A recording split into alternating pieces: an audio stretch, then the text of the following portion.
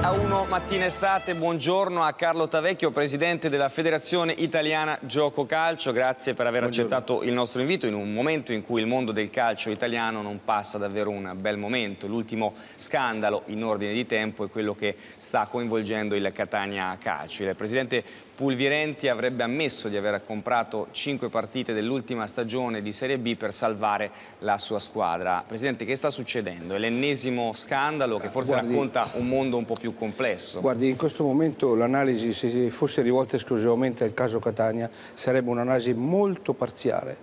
Il problema del calcio italiano, anche professionistico e in alcuni casi soprattutto professionistico, deve essere valutato sotto un quadro generale economico. Le società in questo momento hanno problemi, molte società hanno problemi economici devastanti per gestioni male eh, fatte o per situazioni di costi esorbitanti. Noi eh, dall'11 di agosto abbiamo messo in atto dei provvedimenti che potrebbero in teoria metterli a regime in bilanci seri con, riguardanti soprattutto la, gli investimenti, riguardando i costi gestionali e la patrimonializzazione. Questo deve avvenire per poter mettere in condizioni le società di essere più tranquille nella formazione e nell'organizzazione.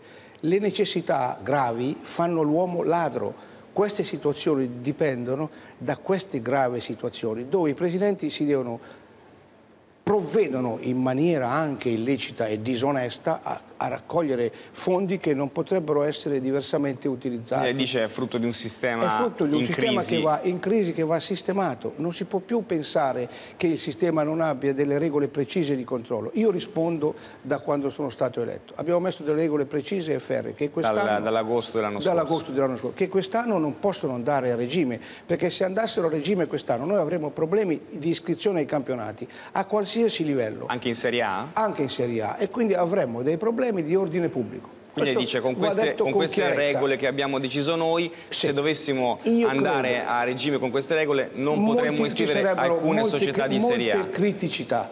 Il problema è che ci vuole un piano, io ritengo quinquennale, non bastano tre anni, per mettere a regime tutti i processi economici per salvare questo sistema.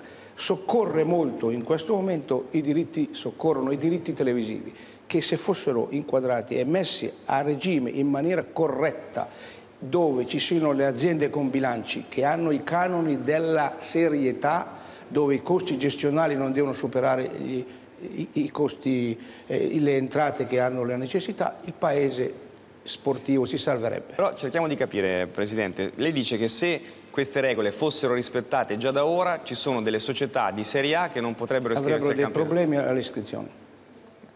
Invece per quanto riguarda la Serie B, torniamo un attimo al caso Catania. Eh, questa vicenda cosa comporta? È ipotizzabile uno slittamento del, dell'inizio della Serie B? Intanto noi dobbiamo dire una cosa molto chiara. Per l'Europa conta l'inizio dei campionati di Serie A. Noi abbiamo obblighi per la Champions e obblighi per l'Europa League. La Lega DB e la Lega Pro non ha nessun obbligo il 21 di agosto e non sta non scritto da nessuna parte. Necessariamente. Noi dobbiamo partire puliti, questo è il problema. Non possiamo fare di necessità, dobbiamo fare di necessità virtù, perché se noi partiamo ancora una volta con delle società non eh, censurate o comunque in itinere di, di, di, censura faremo un errore. Quindi se partono il 21 di agosto, se non partono il 21 di agosto ma partono il 28 di agosto, nel panorama federale non cambia niente. Potrebbe slittare quindi diciamo. Potrebbe slittare in funzione del, della magistratura. Tenga presente che ieri abbiamo preso un provvedimento d'ufficio del Presidente dove abbiamo ridotto i termini. Questo è il problema che non è mai stato fatto è stato fatto per la prima volta proprio per un grave momento di difficoltà, di difficoltà anche morale e quindi i, i, nostri processi dovranno avere immediato riscontro prima del mese di, durante il mese di agosto. Ascoltiamo uh, una intercettazione proprio sul caso del Catania, un'intercettazione eh, nella quale i giocatori vengono eh, definiti, vengono chiamati come eh, dei treni. Ascoltiamola. Eh, qualcosa sì, mm, eh, però non, posso dire niente adesso. Un treno alle 15. E l'altro? Mm, eh, ce ne sono altri due di treni però. Ah, tienimi informato, ciao. Va bene, ciao ciao. ciao. Ecco, i treni in realtà sono le partite truccate, non i giocatori. Che effetto le fa sentire questa intercettazione, qui, Presidente? eh, eh, io ho un effetto, una cosa incredibile. Dal punto di vista sportivo la lealtà viene calpestata, viene vilipesa. Un uomo di sport non può sentire queste cose. Se noi entrassimo nell'ordine di idee che solo far ascoltare a un giovane questi ragionamenti avremmo fallito ogni nostra presenza. Eh, però, eh, ripeto una cosa, queste situazioni si sono create, adesso c'è un reo confesso.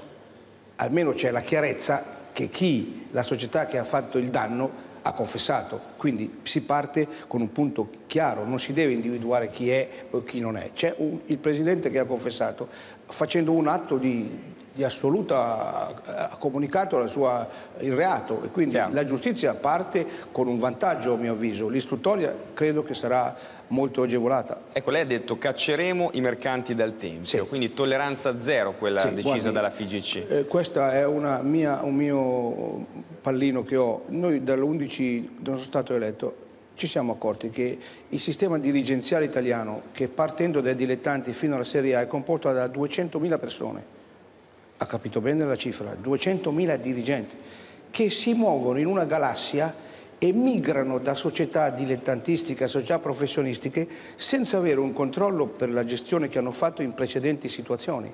E quindi noi potremmo trovare uno che ha fatto fallire una società di Lega Pro che diventa direttore generale della Serie B, uno che ha fatto fallire una società di Serie D che diventa direttore generale di un'altra società eh, uguale. Quindi noi dobbiamo fare assolutamente un casellario sportivo dove ci sia il curriculum di tutti quelli che si sono iscritti e sono dichiarati dirigenti per sapere cosa possono fare e cosa hanno fatto. Questo sarebbe il primo passo per un censimento. Ecco Presidente, altro caso spinoso è quello che riguarda il commissario tecnico della Nazionale Antonio Conte che è stato già squalificato quattro mesi dalla giustizia sportiva e ehm, per l'omessa denuncia relativa alla partita sì. Albino sì. F Siena e potrebbe essere rinviato a giudizio per frode sportiva. Questo cosa comporta anche a livello di immagine secondo intanto lei in un momento in cui l'Italia sta lottando sì. per le qualificazioni al prossimo sì, campionato intanto europeo? Intanto bisogna fare chiarezza. L'11 di agosto quando io sono stato eletto tutti sapevano che Conte aveva una posizione eh, di fronte alla giustizia e il problema non è stato mai sollevato, anzi tutti a furore di popolo volevano Conte. Questo è il problema. Eh, io ho fatto quello che dovevo, abbiamo mantenuto serenità, il, il, il contratto gli scade l'anno prossimo.